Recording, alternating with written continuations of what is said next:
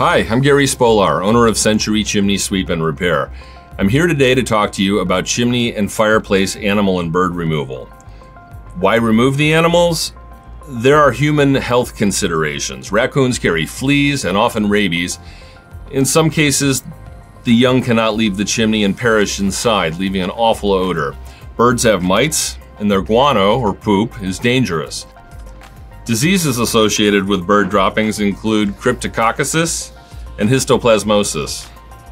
You can become infected with these diseases by breathing in the dust that is created from the droppings. Our certified technicians have humanely removed many animals and birds from fireplaces in Westlake, Ohio. We'd be happy to help you. We do, of course, highly suggest that you have us install one of our chimney caps once the animals are removed so they do not return. To schedule with us, please call us at 440 871 7707 or email us through our website at centurychimney.com.